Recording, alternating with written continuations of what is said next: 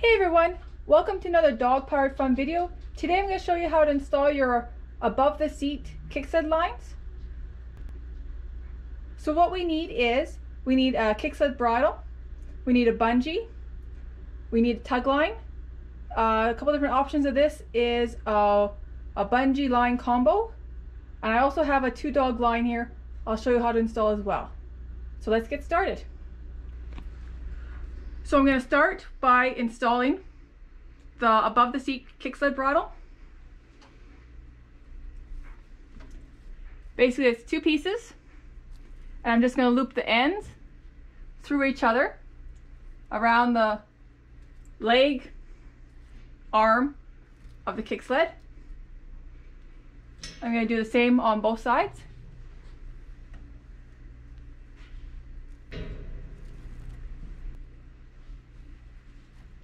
So now I have the bridle installed. I like to use the least amount of hardware as possible. So now I'm going to install my four foot bungee.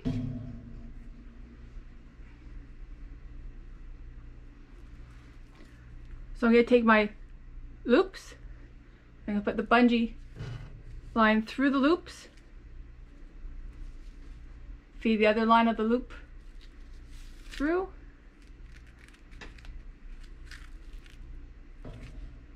Now my bungee is attached to the bridle.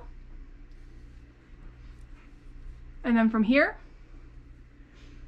I'm gonna add my tug line. I've got a six foot tug line. I'm gonna install onto the bungee. So same way as before, feed it through,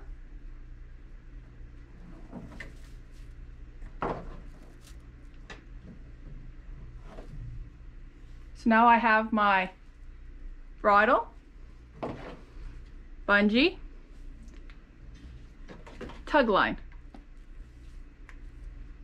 And on the end of the tug line, I install a brass snap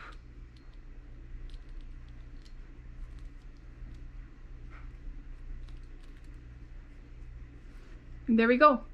So there we have it.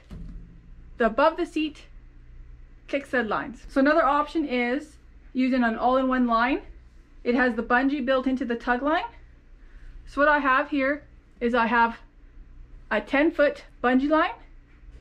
I'm going to install it onto the kick sled. It's the same idea. The loops of my bridle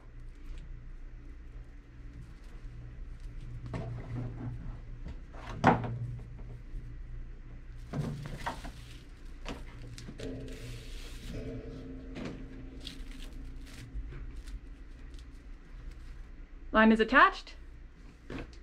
I now have a 10 foot line in front of my kick sled. Now you're probably thinking, what do I do if I have two dogs? So, same general idea. We've installed our kick sled bridle. We need, we still need a bungee. So I'm gonna install my four foot bungee.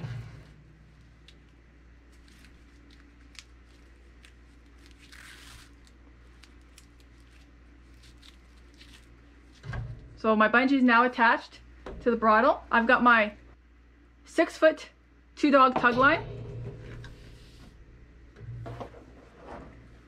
I'm going to install it at the end of my bungee.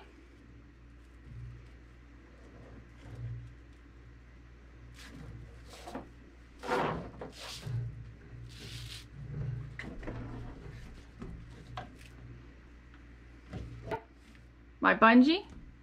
And now I have my two dog tug line and I would just install snaps at the end. One. So